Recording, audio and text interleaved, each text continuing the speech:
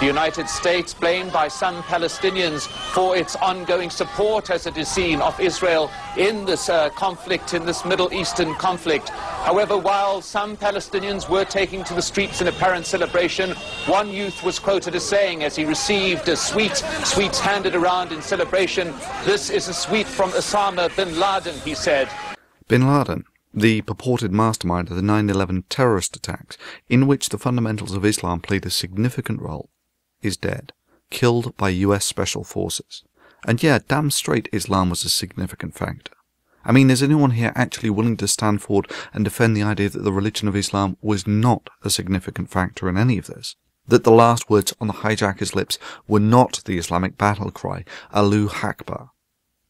Anyway, I think this is arguably the best way it could have played out. I mean, it's hard to claim that you died as a martyr for any cause if you spent the best part of the last decade hiding in caves or imprisoned within your own compound, all but cut off from the outside world. I mean, let's be real, crazy hermits hide in secrecy for years, and it's difficult to see how this can be spun as some valiant hero's death.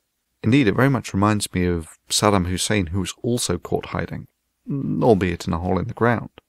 So will this change the state of play much? Yeah, I think so. It sets the precedent that if you wish to rouse the sleeping giant, you'd best be ready to deal with the consequences that's likely to entail. And bin Laden getting killed by US Special Forces puts that precedent on a 50 foot tall, highlighted neon glowing banner. And while the outcome of the 9 11 attacks doubtless exceeded all of Al Qaeda's expectations, I have to wonder if in those many years of hiding, in his self imposed imprisonment, if he had doubts whether his attempts to gain the attention of America had been counterproductive to his goals. But who knows what went through his mind? It wouldn't surprise me if he drew solace from his religion. However, in practical terms, the reaction that followed 9-11 has not been productive to any goals that he might have been trying to achieve. I mean, 9-11 was the crowning jewel in Al-Qaeda's achievements. After that, people took them seriously, and the crackdown began and a few years later they were still capable of making the odd bomb, such as the London and Madrid bombings, but since then the operational efficiency of the organization in the West has been a farce, limited to what can only be described as amateurish and half-assed attacks. I mean, just to put it all into perspective, the Columbine attacks were two completely untrained delinquent teenagers, but they were pros compared to the typical terrorist attack of late, which, if they were doing well, managed to severely burn or kill themselves only. But arguably bin Laden's legacy will have been to have awakened a complacent West to an ideology that will motivate people, either in part or totally, to blowing up planes, buildings, burning down embassies, beheading innocent people, institutionally sentencing people to death merely for bad-mouthing their religion, and to threaten to kill or to actually kill authors, cartoonists, or playwrights merely for exercising their free speech.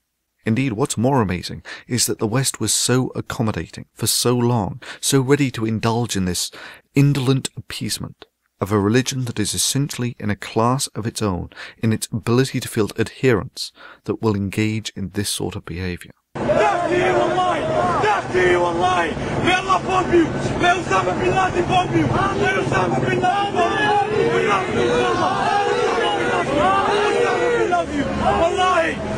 في سبيل الله أسامة أنت ظاهر يا رجال يا من أسامة أنت ظاهر لا إله إلا الله And wallahi we will be with them we will take revenge on you Allah Akbar Allah Akbar